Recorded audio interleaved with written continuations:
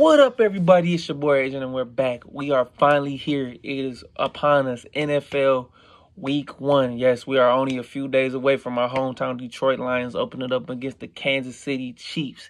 Yes, it will be a, a big one for the city of Detroit.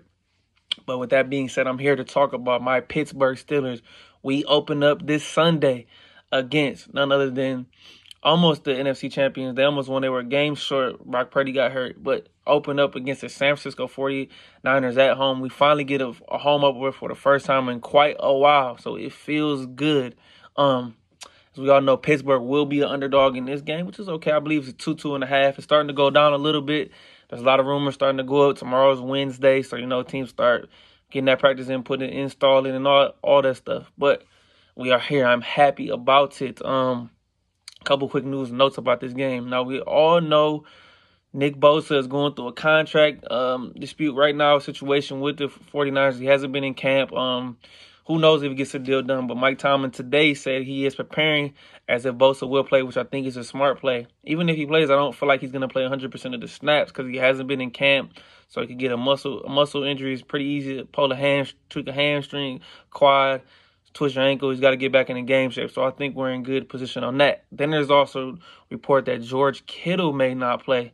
Um, one of their best players on offense, not only great at catching but great at blocking. So you use him as a as another offensive lineman. Now, in my opinion, I'm just being honest. We'll see what he does this year, but I but I think Brock Purdy's a little overrated. I think Kyle Shanahan, Shanahan turned him into what he was.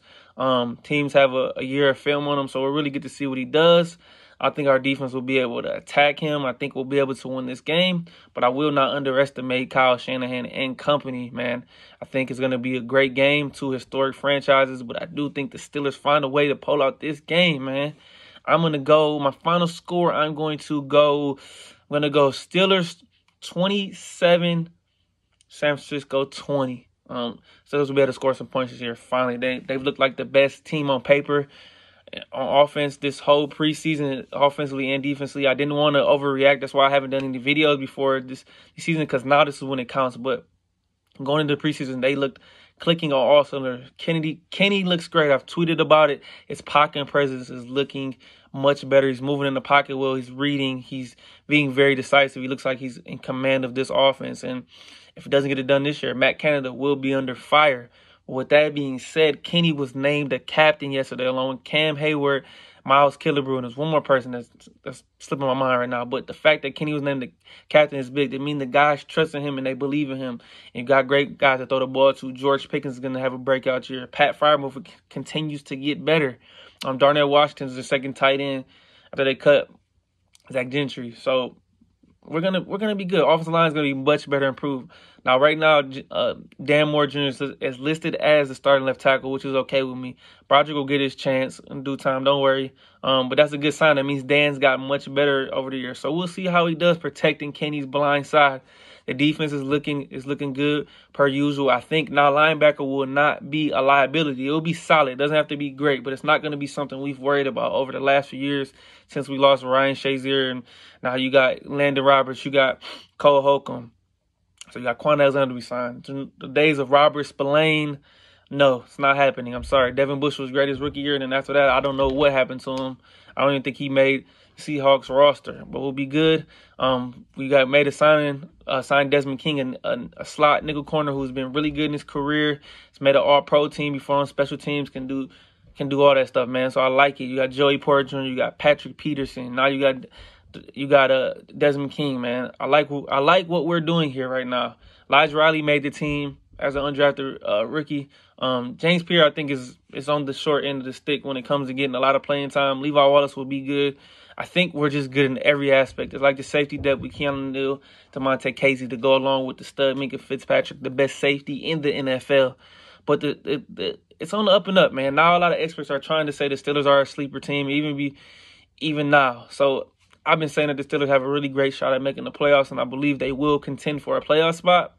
And that is a win for me this season if they can get into the playoffs. And I think next year is when they really take that really big step, where guys will be going into going into their third year, man. So I th- I think this is this is very big for this team. Kenny's an older guy, so I know he's You know, I know he's a rookie last year, but he's an older guy, and I think this team will go as Kenny goes, and the veteran leadership will lead the way. But we're going to need some some some big play from young guys like Keanu Benton, Nick Herbig. Let's see what he does. I know he'll be a rookie. Um, I expect DeMar DeMarvin Leal to have a better year this year, going into his second year with some really good playing time. The breakout star on this team, in my opinion, will be Calvin Austin, as he'll be utilized as a weapon um, reverses, get him screen passes. Um, in a, in a return game, punt game, I think he's gonna have a, a big year, man. I'm I'm looking forward to this, man. I, Mike Tomlin is gonna is, is gonna continue to show you why he's one of the best coaches in the game and why he will be a future Hall of Famer, man. I'm telling these people, man. Now everybody wants to jump on the bandwagon and say they, they're sleeper contenders now. Do I think the Steelers realistically can go in the Super Bowl this year? No. Um, but I do think they can definitely contend and get in the playoffs, and then anything can go from there. But that is that is where I'm setting the bar right now. Um, the schedule is you know it's not bad, but that being said, you open again, open up against San Francisco, man. So open up against San Francisco versus Cleveland at Los Angeles Raiders, uh, Las Vegas Raiders. I'm sorry, um, at Houston versus Baltimore. So you got to continue to stay 500 in this path. With the AFC is tough, man. And as we all know, we play one of the best divisions right now with with Cleveland, with Baltimore with Cincinnati. So you know you got Lamar Jackson, Joe Burrow, Deshaun Watson. Those are three really good quarterbacks. Um, so we'll see what happens, man. I'm excited, ready, to, ready for them boys to strap up and play at Heinz Field on on Sunday, man. I couldn't be more excited, man. Steelers football is here, baby. We are officially here. I've been waiting for a long time. I expect a good year from this team and all the Steelers fans across the nation. Here we go. We know what we're gonna do, baby. So, hey, it's your boy Adrian, and I'm out.